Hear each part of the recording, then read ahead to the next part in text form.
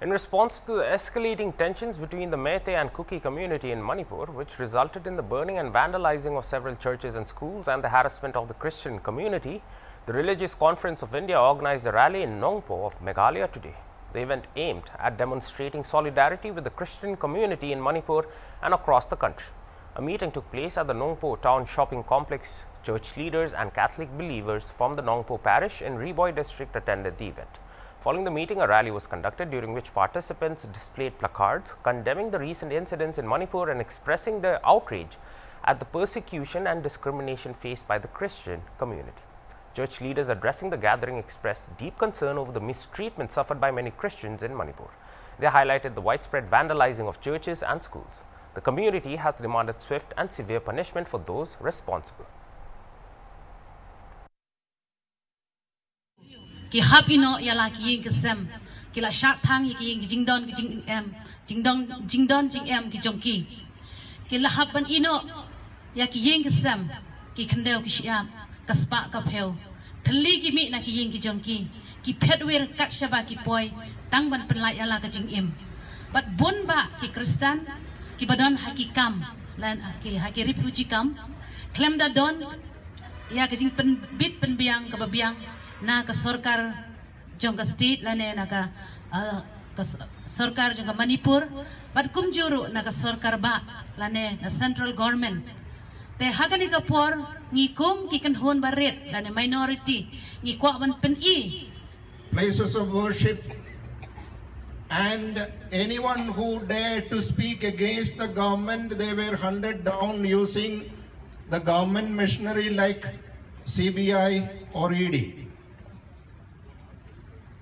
Today we are here to silently express and protest against what is happening in Manipur and in other parts of our beloved country. This morning I was speaking to a father who returned from Manipur last night. He told me the newspapers in Imphal is full of narrative, narrative of how a particular community is affected. And it is all because of the militants of uh, another community, a tribal community. I think the present dispensation uses lies and lies and when it is repeated again and again, many of us believe that that is truth, unfortunately. But then the society is not bad because of the bad people, but it is bad because of the silence of the good. And that's why I'm proud that you're all gathered here this afternoon. And I think that is what uh, Tagore said in his uh, poem Gitanjali. He said, Stop this telling of beads and reciting songs. Whom are you worshipping in the dark corner of your temple? Open your eyes and see that the Lord is not before you. He is there where the pathmaker is breaking the stone and the tiller is tilling the ground. Remove your holy mantle and go and be even like them. I think that is the invitation of Jesus today. I was just wondering, what would Jesus do today if he was among us? Piwan pani, lani piwan ay, ya kata ka, ya kum kani ka program. Kani ka program ka ba la organize dai production ka dai ka way ka program ka ba don kam tam ha ka jing im ka jonga jong pi iwe pi iwe. Nadu kam tam mangi gibreu, nadu umrat umreng mano bom dan kam ya ka jing suk paro khaj nyiwat ka jing suk. Trai jisuru wala wala kren hit ala de ka jing suk nga ai bat pi.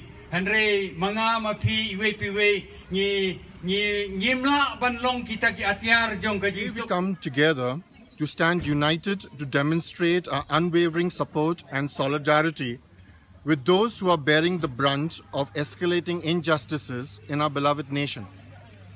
Our hearts ache for the countless individuals who have become victims of injustices, and we pledge our commitment to addressing these pressing concerns.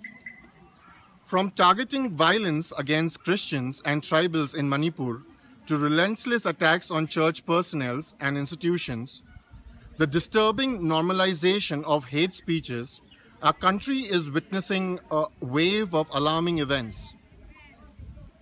Additionally, we cannot overlook the dire circumstances faced by our brave women wrestlers whose voice of protest have fallen on deaf ears.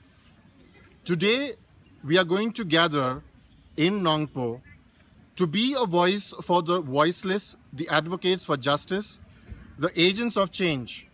We must rise above our differences, embrace compassion, and reject hatred. It is our shared responsibility to ensure that principles of equality and justice permeate every aspect of our society.